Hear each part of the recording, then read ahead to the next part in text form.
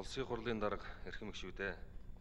Улсын хурлын гишүүн Даваа сүрэн нарын 22 гишүүнээс 2021 оны 3 дугаар сарын 23-ны өдөр улсын хуралд өргөн мэдүүлсэн төр хороо байгуулах тухай улсын хурлын тогтоолын төслийн хэлцэх хэсэх асуудлыг төрийн байгуулалтын байнгын хороо 2021 оны 3 дугаар сарын 24-ний өдрийн хуралдаанаараа хэлэлцлээ. Монгол Улсын хурал 2019 оны 11-р сарын 21-ний өдөр оюу толгойн ордыг ашиглах хөрөнгө оруулалтын гэрээ болон холбогдох бусад гэрээ хилцээрийн хэрэгжилтийг шалгасан ажлын хэсгийн санал дүгнэлтийг үндэслэн оюу толгойн ордын ашиглалтанд Монгол улсын эрх ашигыг хангуулах тухай улсын хурлын 92 дугаар тогтоолыг баталсан. Тогтоолд оюу толгойн ордоос Монгол улсын хүртэх үр ашигыг хангах хүрээнд засгийн газар болон гадаадын хөрөнгө оруулагч компаниудтай оюу толгойн ордыг ашиглах талаар байгуулсан хөрөнгө оруулалтын болон хувь нийлүүлэгчдийн гэрээг Монгол улсын хууль тогтоомжид нийцүүлэн өөрчлөх. Оюу толгойн далдуурхайн бүтээн байгуулалт санхүүжилтийн төлөвлөгөөг Монгол улсын эрх ашиг, хууль тогтоомжид нийцүүлэн сайжруулах. Оюу толгой төслөөс хүртэх Монголын талын эзэмшлийн 34% хувьцаа эзэмшлийн бүтээгдэхүүн хуваах нөхцөл, тус ордын дагалдах нөөцийн үнэлгээг олон улсын стандартад нийцүүлэн дүгнэлт гаргуулах.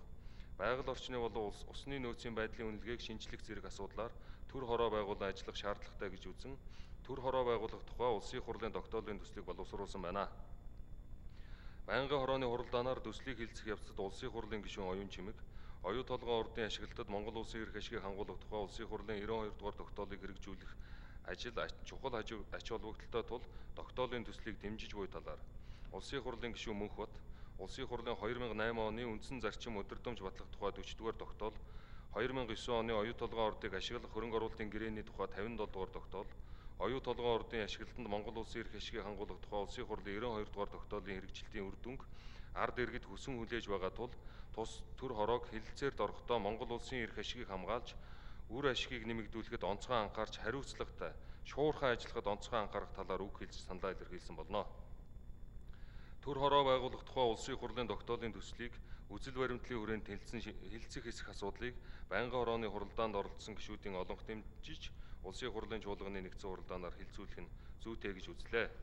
Улсын хурлын эрхэм гишүүдээ төр хороо байгуулах тухай улсын хурлын тогтоолын төслийн хэлцэх хэсэх талаарх төрийн байгуулалтын байнгын хорооны санал дүгнэлтийг хэлэлцэн шийдвэрлэж өгөхийг та бүхнээс хүсье. Анхаарал тавьсанд баярлалаа.